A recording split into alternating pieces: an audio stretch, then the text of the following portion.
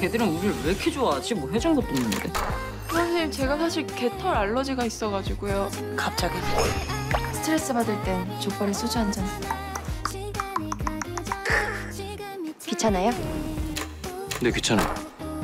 아니 도대체 내가 왜 싫어? 아, 안 맞아. 아니 근데 나는 좀 심하게 귀엽잖아. 질문이십니까?